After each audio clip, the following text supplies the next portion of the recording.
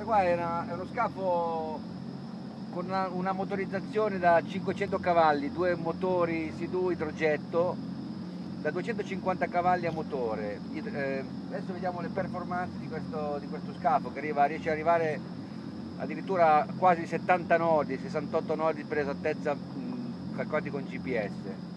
L'accelerazione è impressionante, adesso diamo una dimostrazione. Tieniti bene,